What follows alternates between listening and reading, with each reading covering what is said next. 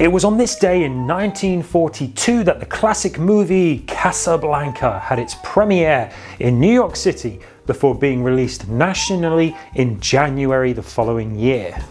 Set during World War II, it focuses on an American expatriate, Rick Blaine, who must choose between his love for a woman and helping her Czech resistance leader husband escape the Moroccan city of Casablanca to continue his fight against the Nazis.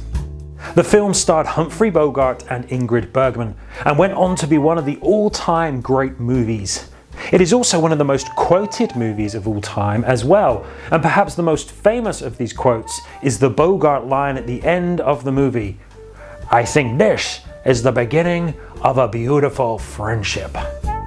Now, we all need friends, people that we can count on and rely on when we need a hand, people to share life with, both the ups and the downs. But have you ever thought of God as a friend?